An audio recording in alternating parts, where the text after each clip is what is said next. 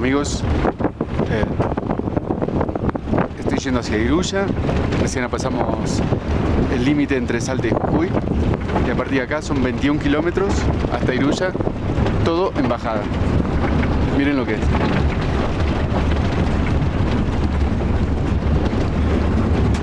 De un lado cerro, del otro lado precipicio.